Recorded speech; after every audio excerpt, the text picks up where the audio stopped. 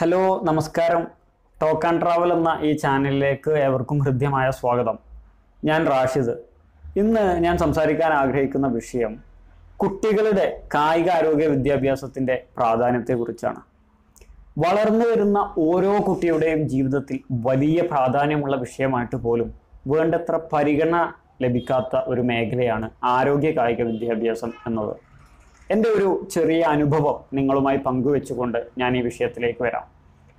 എന്റെ സ്കൂൾ പഠനകാലത്ത് എട്ടാം ക്ലാസ്സിൽ പഠിക്കുന്നതിന് വേണ്ടി പുതിയൊരു സ്കൂളിലേക്ക് പോകുന്ന സമയം വളരെ പരിമിതമായ സാഹചര്യങ്ങളിൽ നിന്നുകൊണ്ട് തന്നെ കൃത്യമായ രീതിയിൽ ഹോക്കി പരിശീലനം നൽകുന്ന ഒരു കായിക അധ്യാപകൻ ആ സ്കൂളിൽ ഉണ്ടായിരുന്നു.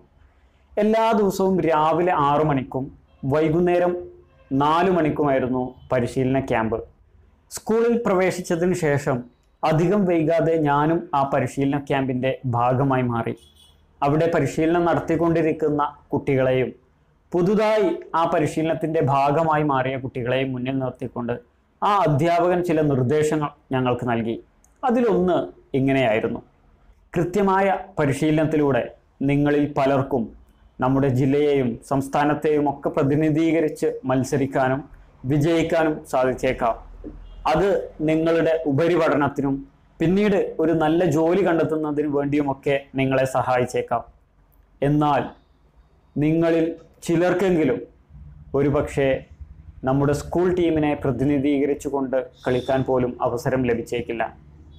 എങ്കിൽ പോലും നിങ്ങൾക്കിതൊരു നഷ്ടമാകില്ല. കാരണം ശാരീരികവും മാനസികവുമായിട്ടുള്ള ആരോഗ്യം മെച്ചപ്പെടുത്തുന്നതിനോടൊപ്പം ഒരു വിദ്യാർത്ഥി എന്ന നിലയ്ക്ക് നിങ്ങളുടെ പാഠപുസ്തകത്തിനും അപ്പുറത്തുള്ള ഒരുപാട് അറിവുകൾ നിങ്ങൾക്ക് സ്വന്തം അനുഭവങ്ങളിലൂടെ നിങ്ങൾക്ക് ഇവിടെ നിന്ന് ലഭിക്കും.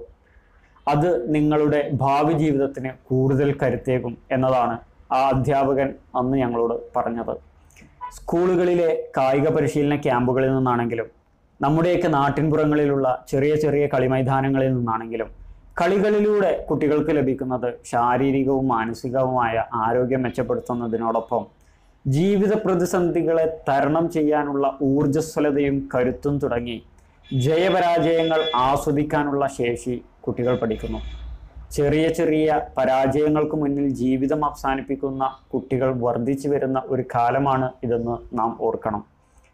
രക്ഷിതാക്കളും അധ്യാപകരും പൊതുസമൂഹവും നേരിടുന്ന മറ്റൊരു വലിയ പ്രതിസന്ധിയാണ് കുട്ടികൾക്കിടയിൽ വലിയ രീതിയിൽ വർദ്ധിച്ചു വരുന്ന ലഹരി പദാർത്ഥങ്ങളുടെ ഉപയോഗം.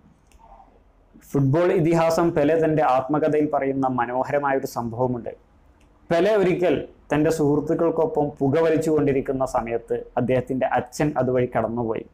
പെലെ പുകവലിക്കുന്നത് അച്ഛൻ കണ്ടെങ്കിലും യാതൊന്നും അച്ഛൻ പെലയോട് പറഞ്ഞില്ല. അദ്ദേഹം നേരെ വീട്ടിലേക്ക് പോയി. അന്ന് രാത്രി പെലയുടെ അടുത്ത് വന്ന് അദ്ദേഹത്തിന്റെ അച്ഛൻ പെലയോട് ചോദിച്ചു പെലെ നീ ഇന്ന് പുകവലിച്ചിരുന്നുവോ? അതെ എന്ന് പറഞ്ഞ പെലയോട് അദ്ദേഹത്തിന്റെ അച്ഛൻ പറഞ്ഞ മറുപടി പെലെ നിനക്ക് വലിയൊരു ലക്ഷ്യമുണ്ട്. ഇതുപോലുള്ള ലഹരി പദാർത്ഥങ്ങൾ നിന്റെ ആരോഗ്യത്തെ നശിപ്പിച്ചേക്കാം.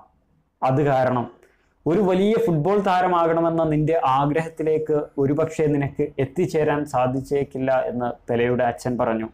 പെലെ പറയുന്നുണ്ട് പിന്നീട് ഞാൻ പുകവലിച്ചിട്ടില്ല. പിന്നീട് എന്റെ ജീവിതത്തിൽ ഒരിക്കൽ പോലും ഞാൻ ലഹരി പദാർത്ഥങ്ങൾ ഉപയോഗിച്ചിട്ടില്ല എന്നത് നമ്മുടെയൊക്കെ കുട്ടികളുടെ ഹൃദയത്തിലേക്ക് ആഴ്ന്നിറങ്ങുന്ന രീതിയിൽ നമുക്ക് നിർദ്ദേശങ്ങളും ഉപദേശങ്ങളും നൽകാൻ സാധിക്കണമെങ്കിൽ നമ്മുടെ കുട്ടിയെ പൂർണമായി നാം മനസ്സിലാക്കേണ്ടതുണ്ട്. അവന്റെ ആഗ്രഹങ്ങളും അവന്റെ കഴിവുകളും തുടങ്ങി അവൻ ഇനിയും പുരോഗതി പ്രാപിക്കേണ്ട മേഖലകളെക്കുറിച്ചും നാം ബോധവാന്മാരാകണം. എങ്കിൽ മാത്രമേ അവന്റെ ഹൃദയത്തിലേക്ക് ആഴ്ന്നിറങ്ങാൻ നമുക്ക് സാധിക്കുകയുള്ളൂ. ഓരോ കുട്ടിയും വ്യത്യസ്തരാണ്. ഓരോരുത്തർക്കും ഓരോ തരത്തിലുള്ള കഴിവുകളാണുള്ളത്. ആ വൈവിധ്യത്തെ ഉൾക്കൊള്ളാൻ തയ്യാറാകാത്ത ചില രക്ഷിതാക്കൾ.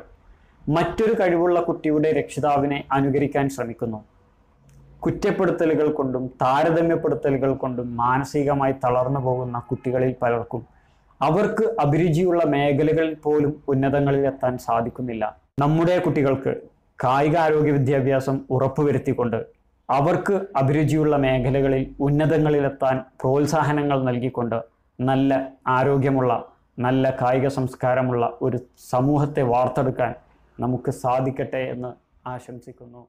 നന്ദി.